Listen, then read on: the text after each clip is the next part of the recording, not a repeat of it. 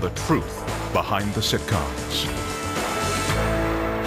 The Partridge Family was based on the true story of a single mother who joined her children to form a rock and roll band. Even before the first show aired in 1970, the producers released a song recorded by the show's young leading man. I Think I Love You became a smash number one hit, helping to put the Partridge Family at the top of the ratings and launching David Cassidy into the world as a genuine superstar and music phenomenon. Here's a triple E ticket. you know, want to come on this ride with me? Here, hop in the limo, we'll get in the private jet, and then, you know, we'll go in, there'll be like 40, 50,000 screaming girls. You go back to the hotel, you'll have as many of them as you want. But the fame and success that brought him love from millions of complete strangers only drove him further from the one person whose love and admiration he really sought his father, Broadway musical actor Jack Cassidy. David Cassidy is my stepson, and um, I married his father when he was seven years old. Well, I mean, both my mother and I both were abandoned by my father. He split, and it was like, see you later. I think he blamed me. He thought I was the wicked stepmother, you know, that caused it. Understand there were 15 years of he wasn't around, and rarely around. And um, my mother once sent him a dime in the mail to call me. It's pretty awful, you know. My dad was having a lot of problems with my fame and um, with our success uh, because he wasn't having it. Being married to Shirley Jones and her winning Academy Awards and getting starring roles in movies and him not being able to get a job and his son becoming David Cassidy. We went to see him uh, in one of the big stadiums. Jack was so disturbed, he said, you know, he's really a monkey in a cage. Who wants to be that? He wanted more for David than that.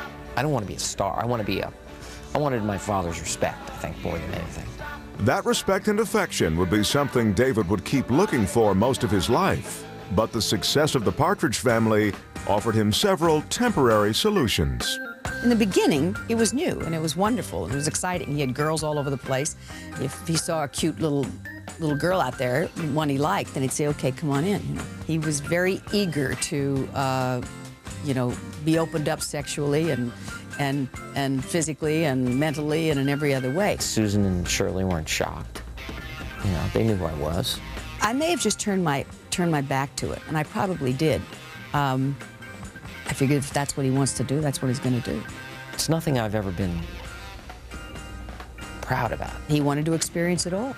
I was a, a good person. I was a good human being. I just was wild and 21 and living the life of everybody, I think, at that age, every male dreamt of. I don't think there was uh, a lot of drug use on the set. I mean, sometimes David Cassidy would open his dressing room door and just this waft of smoke would come out. I wasn't doing drugs. I couldn't possibly. I've never, ever been able to justify it. But, you know, it could have just been a special effect. Can I, can I tell you? He's full of I never really lost my temper with Danny because I felt so sorry for him. What did we used to call him? Ah, there's the onion in the rose patch. Something like that. I don't know. I know they called me a 40-year-old midget. David Cassidy called me a dirty, greasy little pizza. He never showered. He never, he never took a bath. Thanks, David. Sometimes we'd have to take him and bathe him right on the set, you know. But it was sad because nobody was telling him. This was a little kid we're dealing with. He had a lot of problems at home. My, my family life compared closer with the Manson family life than with the Partridge family life.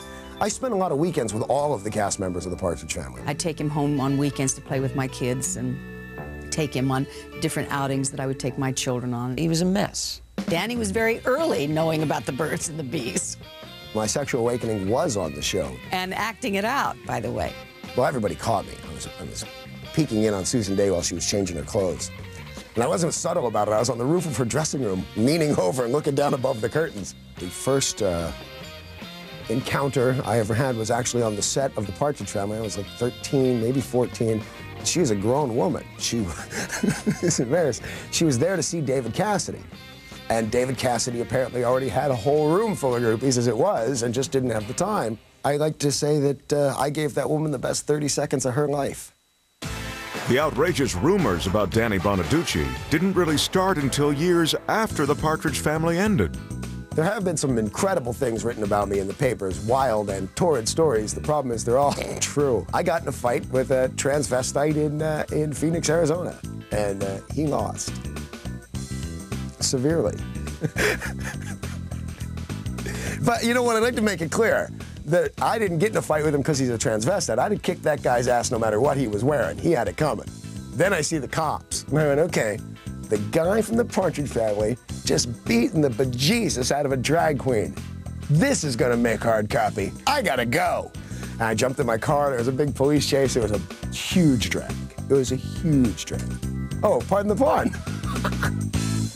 David Cassidy's initial contract for the Partridge family paid him only $600 per episode. I was not very concerned about material possessions at 19. I mean, for what?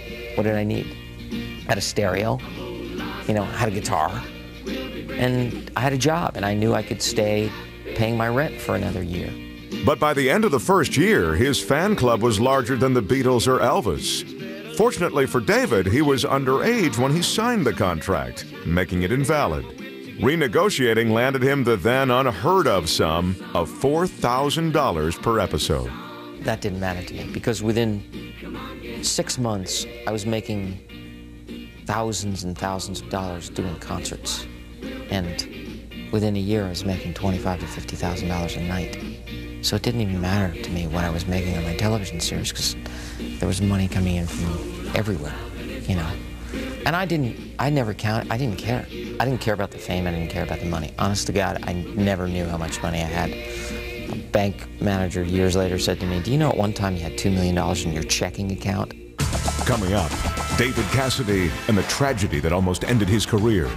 She had a heart condition, she got so excited, and she died. These things happen, and not my fault.